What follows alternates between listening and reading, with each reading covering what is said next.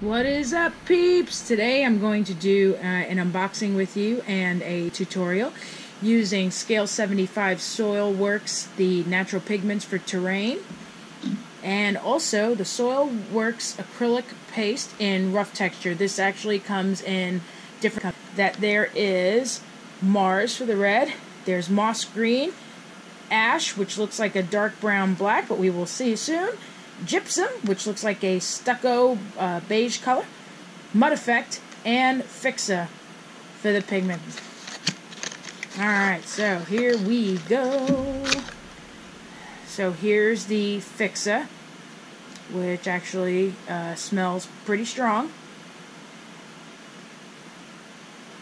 But that's to um, apply mud effect. We'll open that up in a moment. Alright, so here's the gypsum. And it looks like the gypsum... Oh, see, it's a very light stucco color. But you can always change the color by adding inks and washes to, you know, to pigments and, and such, because I've done that before, and that actually works with, you know, whichever pigment you use, no matter what brand. Ash, Alright, so that's a gray black, so that photo, it doesn't have any brown in it. Okay, well, at least, at least we know that's why we're here. So that's good to know. Moss green. It's a bright green. Oh, that's a nice one. That could be good for, you know, things like patina, mold, things like that. It's about the same color as the secret weapon green one that I have. I have like pigments from like a lot of different companies. And Mars. Alright, so this is a color I definitely do not have that I can think of anyway in way of pigments. Well, there I do have all the rest ones from Secret Weapon, but this one seems like a brighter red than the ones I got. Oh, look at that. Yeah, that's nice and bright right there. I gotta admit, I like that. I like that one a lot. I like it a lot. Mud effect. Let's see what that looks like when you open it up. Alright, so it basically looks like Elmer's glue. I do not see any Elmer's glue, basically. Um, then the pigment fixer we know is clear. Um, the reason why um, I accidentally made some of this leak, so that's why some of it's gone, so that was my fault um, from when I was traveling. So, but it basically, let me smell it. So it basically smells like thinner. And and there are different uh, other different things that you can use in order to apply pigment onto whether it's base, terrain, or what have you. You, fixer isn't the only thing, but you know when you're a beginner and you're just starting out, it's just easier to have the whole set accessible to you. Uh, there are people who use uh, alcohol. There are people, who, you know, isopropyl alcohol to be more specific. Don't use like your your vodka and your and your bourbon. That would just be terrible. Um, and there are people who use uh, medium glaze, glaze medium uh, matte medium gloss medium. It really all depends in the end what kind of effect you want. Alright so this here the effects summary seeing if this folds more no okay and this is shown in one two three four four languages. And here's English right here. The grill is painted using Mars pigment fixer. mix we get is a rusty look. So that's showing that there. And it's showing other ways that you can use. So it's basically like a guide. Now, with the fixer here, I'm not exactly sure why they're showing it to look like it. Well, I mean, how many different ways can you show clear, I guess, right? But, but yeah, so that's what that looks like. Started with the paste. It's the rough texture paste. Alright, let's see what that looks like. Alright, you can definitely see that there's texture to it. Let me smell it real quick. Alright, see, the smell is not that strong. not like the mud effect. Almost maybe thought I was going to get high off that. It's pretty crazy. Um, but still, looks like it's going to be pretty fun stuff. So you're definitely going to have to mix it.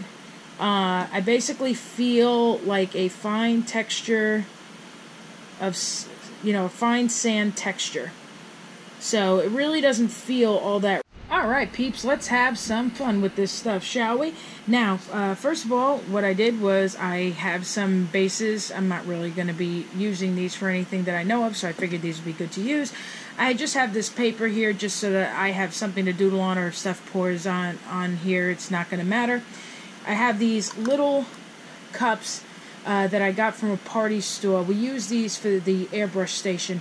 They're just two little two ounce cups. I got them on clearance. It was like two dollars for a bag of like you know a couple of hundred of them or whatever. And then uh, also I have here just one of my old beat up uh, brushes. This is the uh, Games and Gears brushes from that first Kickstarter that happened.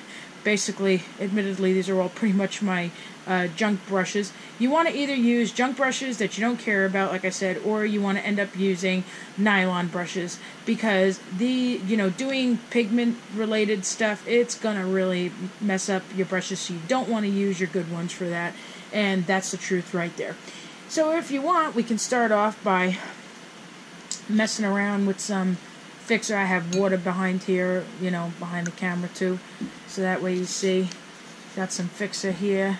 So if you want, just so that we can test out and have some fun. We got some pigment on here. Look at that. Some green. I mean, I know it's not a lot, but I'm just trying to give you an idea, show you the color. It's a nice green. That's definitely going to be good for patina. Like I knew it would, it would, you know, just looking at it, you know, green's usually good for a patina with bronze and stuff like that, but that's definitely going to be good for that and mold, algae, things like that.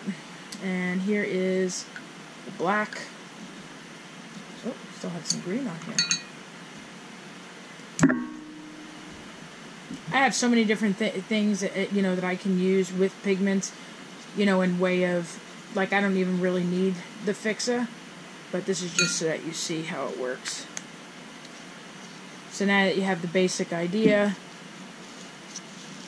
you see we have here some black, some green. That's how it looks together now that it's on my finger. Fun stuff, fun stuff. Now, let's say we have some fun with the mud effects to start. Here's our base that we're not going to really do anything with. Doesn't really seem like you have to shake it, but I just wanted to do it to be sure. Alright. Now, I have a toothpick here with me so that I can mix it. This is like really, so I can show you too. This is like really thick Elmer's glue. So while there's no texture in it, I guess basically the idea is so that you can make the texture yourself, manipulate it the way that you want to. Now, from what I understand, you can mix the pigment with the mud effects, mix the pigment with the texture paste, and that's what we're going to experiment with today. So just for experiment's sake, here's a little bit of the mud effect. And I'm going to put it in this spare little cup because that's what you want to do. You don't want to mix it right on the base right away. You want to do it in a little cup, something you know, or on a separate palette, you know, something something separate. So that way you don't ruin your piece that you that you're working on, whatever it may be. So mud effect, mixing in the cup there with the Mars dirt. So far so good, no one's gonna die here. Oh, see, okay, yeah, that mix is good. I mean, you got to keep mixing it and mix it well, but when you do, you see how it. That's not bad. And then you scoop some out, and you're like, all right, good enough for government work, right? Sorry, I'm going to shake stuff. And so, like I said, basically, your objective should just be because, you know, you have to manipulate texture into it. So, I'm just going to sit there with you can do it with the brush too, but in this case, because I have the toothpick already in my hand,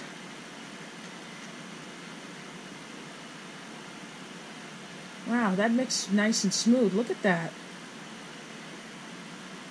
And then if you want, you can even leave it like that, that color, and then you can, you know, dry brush highlight, you know, add wash once it dries, whatever you want. So that that's pretty cool, huh? All right. How about we do another one just just for fun?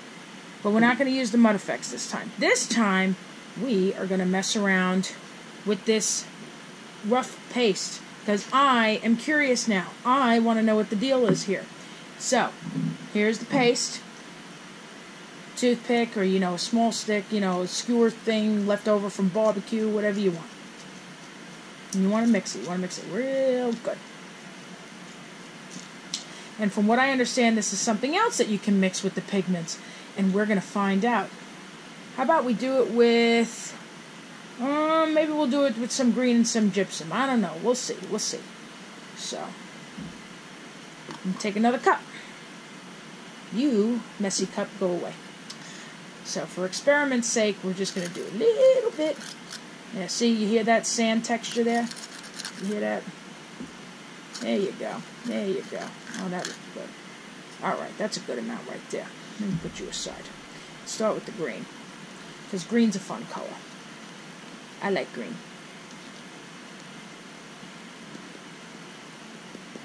Purple's my favorite, but green is a color that you can have a lot of fun with. You can do lots of things with.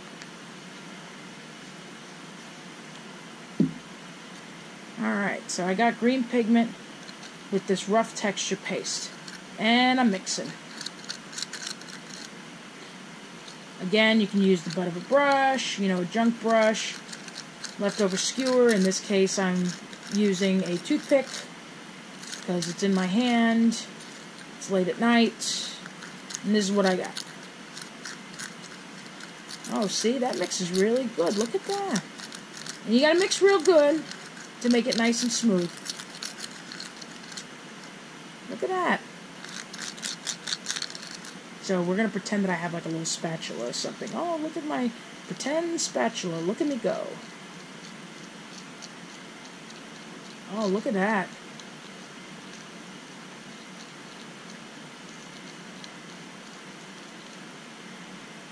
With the rough texture paste mixed with that green. That's not bad, huh? How about just for fun? Let's do that gypsum because I'm I'm curious about how this how this gypsum looks. And this time I'm going to use my funky brush.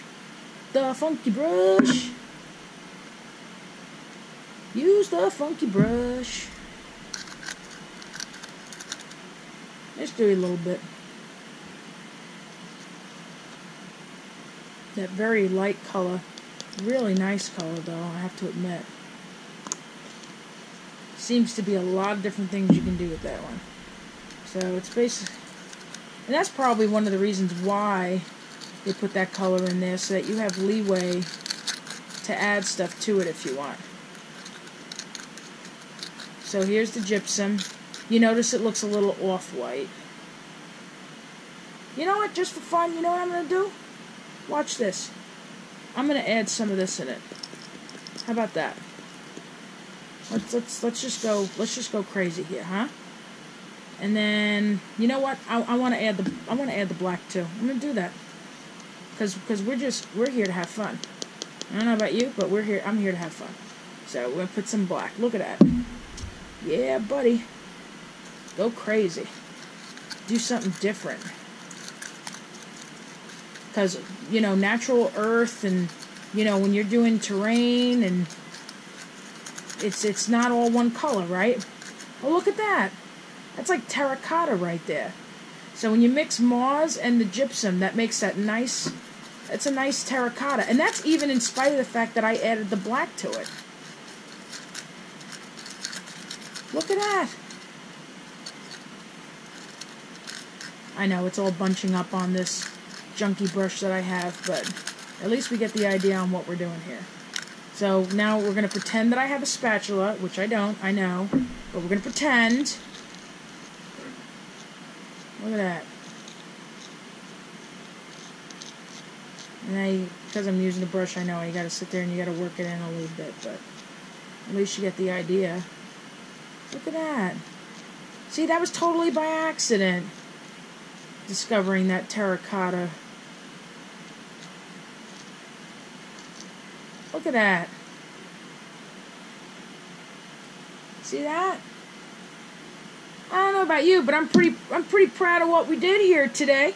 But anyway, for right now, that's my story, and I'm sticking to it as I go along. I'll be sure to share some more stuff with you guys. In the meantime, if you have any questions, please feel free to email us at mhmpropainting at gmail.com. Also, be sure to check out www.metalheadminis.com. And thank you very much for spending time with us tonight. Have yourselves a good night.